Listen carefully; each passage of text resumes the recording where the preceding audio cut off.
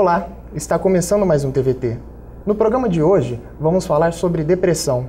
Tratada como uma doença da sociedade moderna, a depressão tem características que podem traduzir uma patologia grave ou ser apenas mais um sintoma diante de uma situação real de vida. Mas um dado que preocupa é que, segundo a Organização Mundial de Saúde, o Brasil ocupa o primeiro lugar no ranking da prevalência da depressão em países em desenvolvimento. A nossa reportagem foi às ruas e conversou com pessoas que já tiveram depressão. Há mais ou menos três anos eu percebi que eu estava achando muita coisa ruim, assim, sem motivo aparente, me afastando de amigos, sem explicação, e eu percebi que tinha uma coisa de errado comigo. Aí eu, eu, já frequentava psicólogo, aí eu procurei ajuda psiquiátrica e entrei com é, tratamento para depressão. Eu tomei um remédio, não era tarja preta, mas era um remédio para ansiedade e assim também controlava um pouco de toque, assim. E fiz o tratamento até uns meses atrás e eu fui parando aos poucos, fui diminuindo o, a medicação até que hoje eu não tomo mais nada, faz mais ou menos uns quatro meses.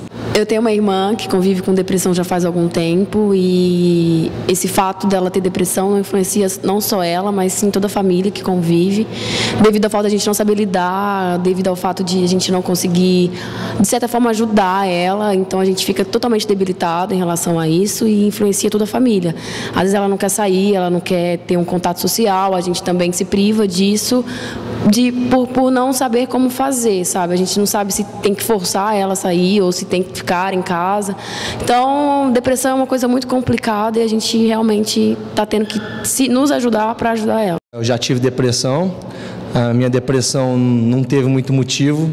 Eu acho que porque eu sou muito ansioso, né? Sou muito, muito ansioso mesmo. E aí um dia misturou conflitos de relacionamento com minha namorada, mais a escola e trabalho. Eu tive uma depressão bem forte mesmo que chegou a gerar até síndrome do pânico.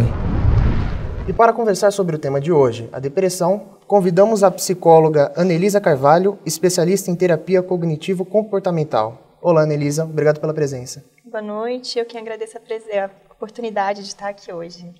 Boa noite, Anelisa. Podemos dizer que a depressão é uma doença da sociedade moderna? Na verdade, a depressão já retoma tempos mais antigos, mas efetivamente o que a gente tem observado é que, na prática, cada vez mais os casos vêm sendo diagnosticados e os índices aumentam, né? Então, devido a esses fatores, a gente tem várias hipóteses na literatura científica.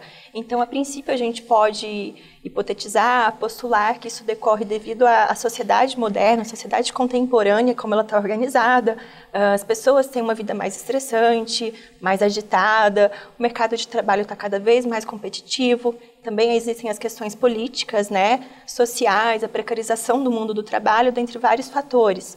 E, adicionalmente, também, a gente não pode perder de vista que cada vez mais os casos vêm sendo diagnosticados, porque cada vez mais o conhecimento ele vai sendo disseminado, as pessoas passam a ter uma percepção de que existe alguma coisa efetivamente acontecendo com ela, uh, passa a procurar médicos, psiquiatras ou mesmo o, o médico clínico geral, e diante disso, os casos vêm sendo cada vez mais reportados. Então, a gente teria essas duas vertentes. Tanto uma ótica que diz que, devido à conjuntura social atual, as pessoas cada vez mais estão deprimidas, apresentando esses índices, índices e a gente também tem essa visão de que, na verdade, uh, os casos vêm sendo mais reportado, mais reportados. As pessoas têm procurado mais o tratamento, mais o diagnóstico médico. Anelisa, é, de acordo com essa experiência que vocês têm, é, existe alguma causa principal da depressão ou seria um conjunto mesmo? Sim, a gente na verdade não poderia falar em uma única causa para a depressão. A depressão, ela decorre de múltiplos fatores. Então, preliminarmente, a gente não poderia descartar uh, toda uma questão da disfunção bioquímica no cérebro, né? Que provavelmente vai interessar bastante a área da psiquiatria, da neurologia, dentre outras. Também a psicologia. Adicionalmente, também existem estudos bem modernos na área da genética que já vão falar para a gente da questão do, do, elemento da hereditariedade na depressão, mas não necessariamente, fazendo essa ressalva, todas as pessoas que têm uma disfunção, é, têm uma predisposição genética, vão necessariamente desenvolver uma depressão diante dos gatilhos que geram ela. Do ponto de vista psicológico, no caso, Uh, até a década de 60, havia uma concordância quase que absoluta no sentido de que a depressão poderia ser atribuída a um fator inconsciente, a um fator desconhecido, a um processo inconsciente mesmo. Uh, na década de 60, então, com o surgimento da terapia cognitivo-comportamental, a gente passou a ter uma outra percepção desse fenômeno que é a depressão. Então, do ponto de vista da TCC, da terapia cognitivo-comportamental, o que a gente, uma das causas que a gente atribui a ela seria uma visão, a presença do elemento cognitivo, que a gente pode chamar de pensamento, né, muito forte. Então, em geral, essas pessoas ela têm uma percepção distorcida de si, uma percepção distorcida do outro ou do mundo, né, e do futuro. Em geral, essa percepção é atribuída a uma crença de desvalor, desamparo, desamor, e as cognições elas são bem presentes, estão bem polarizadas no caso do discurso do deprimido, né?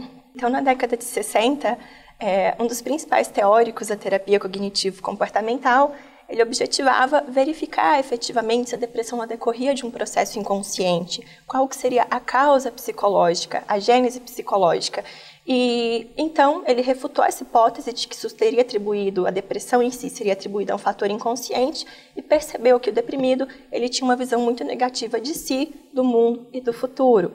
Diante disso, a gente trabalha o elemento cognitivo, a gente percebe a presença desse pensamento distorcido, polarizado para o negativo, que em alguma instância, instância levaria à depressão. Anelisa, tem graus de depressão diferente, tipos de depressão diferente? Como que ela é? Sim, nós temos graus diferentes de depressão, né? Então a gente tem episódios de depressão, a gente pode ter um episódio de depressão maior, a gente pode ter uma ciclotimia, a gente pode ter vários tipos uh, de depressão, assim dizendo grosso modo, que vão variar de acordo com a sua intensidade, de acordo com o período de tempo que ela vai durar ou não. Anelisa, como é possível diagnosticar a depressão? Bom, a gente tem necessariamente que se ater às características da depressão.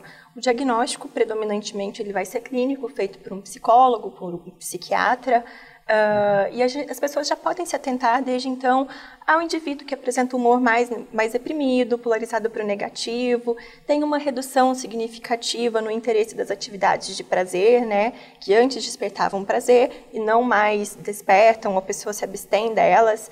Uh, existe também a questão do ganho excessivo de peso ou a perda de, excessiva de peso em um período de tempo muito curto, né? Uh, adicionalmente, a gente pode também ter relatos de insônia ou hipersonia, dentre várias outras características. Predominantemente, o diagnóstico vai ser clínico, vai ser aquilo que a gente pode observar, mas as pessoas já podem estar atentas a ele em um primeiro momento para procurar ajuda. É, tenho também que fazer a ressalva nesse sentido de que todos nós, em algum momento da vida, a gente vai ter um momento de estresse, a gente vai ter um momento de tristeza, um momento que de repente de insônia ou de hipersonia, alguma coisa nesse sentido. O que vai definitivamente diagnosticar a depressão é a duração, é a intensidade, é aquele prejuízo clinicamente significativo, aquilo que efetivamente me gera um sofrimento em determinado período de tempo, em geral superior a duas a três semanas. É, quando o paciente está em tratamento, entendemos que a família também pode ser afetada. É, existe algum, algum apoio psicológico disponibilizado pelas clínicas de tratamento para a família? Com certeza. A intervenção clínica, ela vai atuar de duas formas, né? Então, a gente pode tanto fornecer esse suporte para o paciente que está deprimido e também o suporte para a família, seja através da orientação, ah, através do acolhimento da queixa, né, de que o que efetivamente está acontecendo com essa pessoa, no sentido de diminuir a intensidade que dessa angústia ou ansiedade que isso gera, ou paralelamente essa pessoa também, ah, de acordo com o prejuízo que esse diagnóstico gera, em termos no âmbito familiar, ela pode procurar também o atendimento clínico.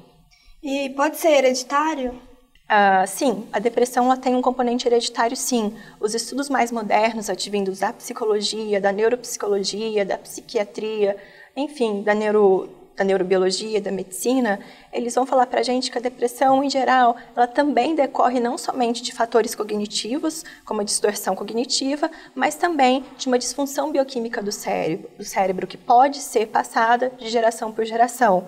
Mas a gente tem que fazer a ressalva de que não necessariamente uh, essa hereditariedade ela vai ser ativada por um desses gatilhos. Não necessariamente por eu ter uma pessoa que é deprimida na minha família, uh, pressupondo que eu tenho essa tendência genética, eu vá desenvolvê-la. Existem alguns gatilhos, como, por exemplo, acontecimentos trau traumáticos, estresse físico, uso de álcool, de drogas, que podem desencadear a depressão no momento que eu tenho essa hereditariedade. Mas isso não é uma condição sine qua non. Não necessariamente uh, eu vou desenvolver depressão diante dessa hereditariedade. Existe alguma faixa etária predominante para o desenvolvimento da depressão? Sim, a gente tem uma faixa etária predominante que, em geral, ela se inicia em torno dos 20 anos de idade.